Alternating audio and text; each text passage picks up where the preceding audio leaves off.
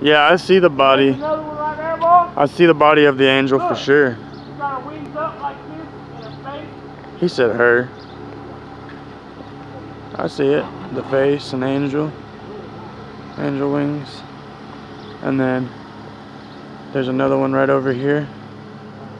Right there.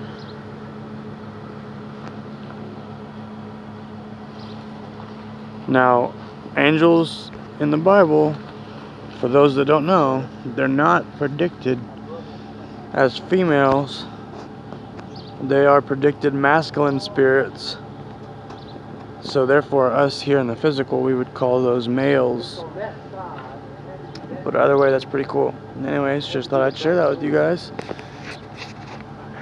I love you, and we will see you soon. Maybe me and Rachel will make another video later on today. Seeing if I caught anything else cool in the kingdom. Like, remember, I always say kingdom like. Okay, okay. Here we go. There's another This gun right here. sort of angel looking I would never buy this gun ever. right there. Cool, cool. And then beneath it, like one blowing a trumpet or something. We done here? All right. Anyways, let's go sell some popcorn. Amen. By the way, for those that don't know, that's Caesar 1600s painting. Go look it up.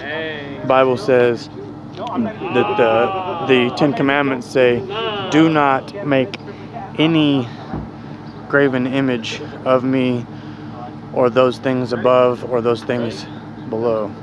Amen and amen. See you later. Love you guys.